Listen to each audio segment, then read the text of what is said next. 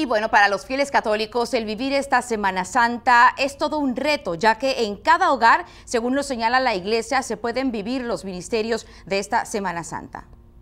La Semana Santa de este 2020 se está viviendo de una manera muy diferente a la acostumbrada. Y es que en las iglesias católicas las celebraciones propias de la temporada se realizan de manera privada y se transmiten a través de redes sociales y medios de comunicación como Televisa Veracruz.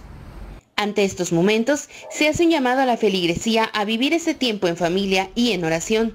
El Via Crucis, por ejemplo, eh, en los hogares puedan también meditar el rosario de la Santísima Virgen, por la, porque no va a haber procesión del silencio y no va a haber tampoco Via Crucis en, las calles.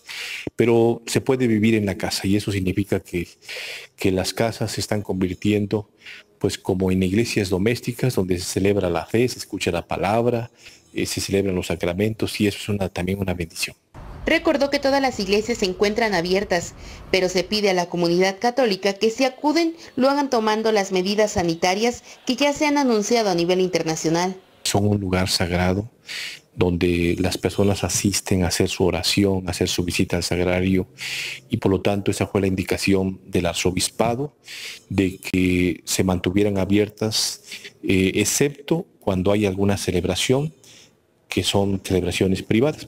Y por supuesto, eh, en las iglesias se está cuidando que haya, pues, este, por ejemplo, limpieza, que se esté aseando continuamente el templo, pues para evitar eh, algún contagio. Denise López Barrera, Noticieros Televisa.